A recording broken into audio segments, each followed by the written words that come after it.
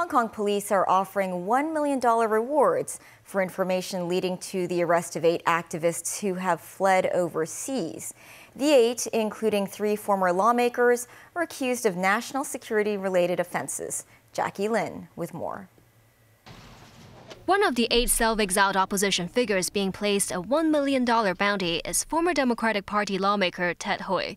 He's accused of three security law-related crimes, the most among the eight fugitive activists.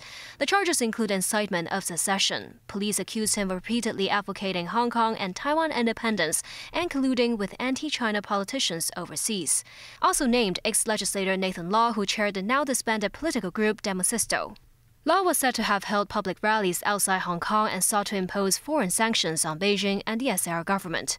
Businessman Elmer Yuen Gong Yi, too, is on the list. He was said to have established a Hong Kong Parliament Electoral Organizing Committee overseas and called for sanctions on the SAR's judges.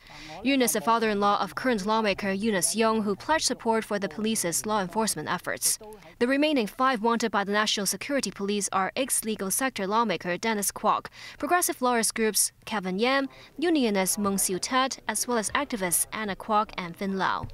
Kwok was said to have colluded with anti-China politicians and groups in a bid to damage Hong Kong's linked exchange rate system. Chief Superintendent of the Police National Security Department Lee Kwai Wah said the reward notices could help them track down the fugitives.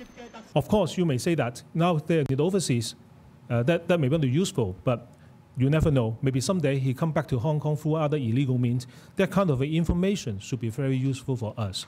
Lee said the $1 million rewards were not for objects, but to bring those responsible to justice. He added anyone supporting them financially could face the risk of violating the security law. Jacqueline, TVB News.